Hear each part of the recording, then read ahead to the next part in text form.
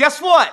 I figured out what's wrong with our country. You ready? Parents, you, you guys are the problem. We have shitty parents raising shitty kids that grow up to be shitty adults who have no clue what reality is, and then when they hit the real world, Boom! Life is gonna beat your ass because your parents did not when you were a kid. Nowadays we have gender fluid kids, which means one day they could pick if they wanna be a girl, the next they could pick if they wanna be a boy. When I was a kid, I got to pick which one of these I wanna get smacked in the back of the head with. Who out there remembers what happened when you used to get in trouble in school? Who remembers? You get detentions, then you gotta deal with your mom when you get home, and then the scariest words in life.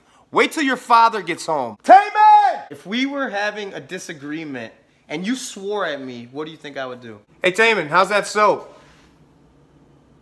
Irish Spring. Smells good, tastes like shit. Stop everything you're doing right now, go smack your kid. You don't have a kid? Go find someone that does, smack him. Shut up!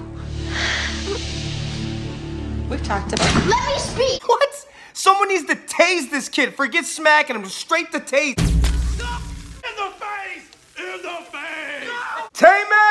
What do you think I would do if you smacked me? If I smacked you?